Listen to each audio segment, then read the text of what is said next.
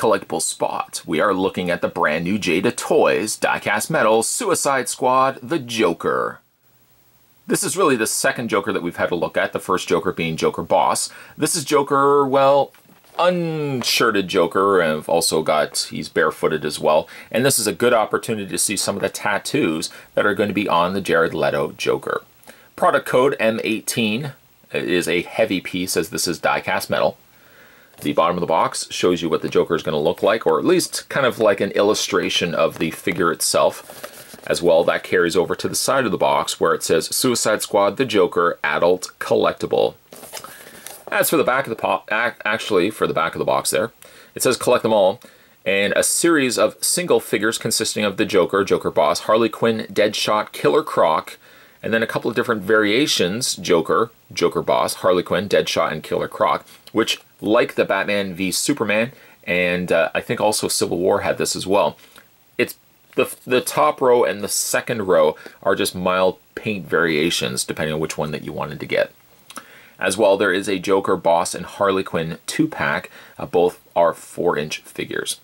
To check out more from the folks over at Jada Toys, head over to www.jadatoys.com.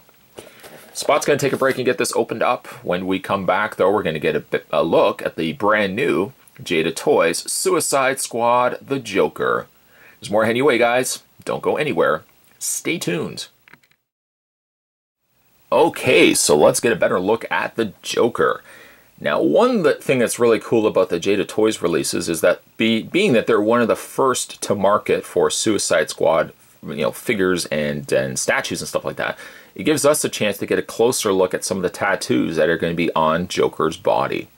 And this is a great example for that. As you can see, some of the tattoos that are going to be all over the clown Prince of Crime.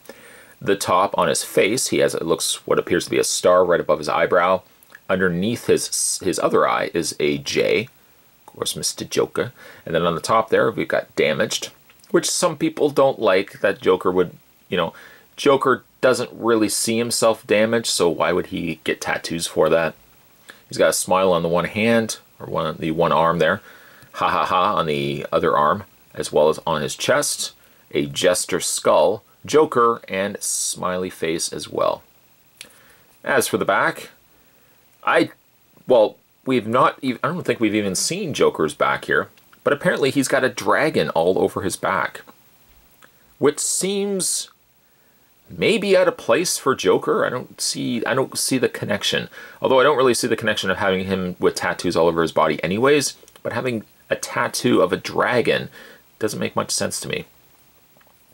Uh, his face is really creepy. And I mentioned this before when we had a look at the Joker boss, which if we just, look, there we go, bring him in. It's the exact same face. Of course, the only thing that they've changed is the body. This one also has the handgun. This one does not. This one has one sole singular glove. I'm not sure the reasoning for that, but all of which will be revealed when we see the movie. Big, creepy smile on both Jokers here as well as the absence of pupils, really makes this guy sinisterly scary. The bright green is on the hair is something I still have to kind of warm up to, but like the rest of the, the rest of the design of Joker, I'm actually starting to really like. I also like the coloring of the skin uh, that they've given the not only the figure but the design of Joker too. As you would expect, and as I mentioned with this guy right here, uh, Joker is heavy because he is die-cast metal. Uh, as a result, he has no posability to him other than just the waist swivel. Uh, there is no posability in the head, nor in the arms, nor in the feet. The, the feet, I might add, also feel more like rubber.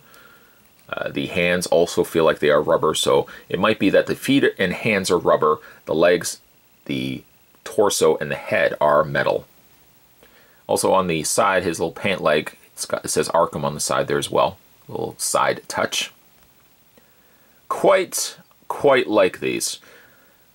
Liking the look of Joker. I love, you know, what Jada Toys does with their figures that they, you get like a, a super stylized version of what the characters are going to look like. Um, it's a nice change to some of the other figures, and I won't mention the other ones, but like the ones that about yay big, where, you know, it's just hordes and hordes and hordes of the same similar design figure, Jada Toys brings something different to the table, and I like that. Plus, too, like you, you know, you pick this up, you feel right away that there's a quality to it as well. Today's collectible spot, we were continuing our looks at the brand new Jada Toys Suicide Squad figures, and we're looking today at shirtless Mr. J. Stay tuned, guys. Spot's gonna have more collectible spots heading your way. Thanks for watching. See you next time.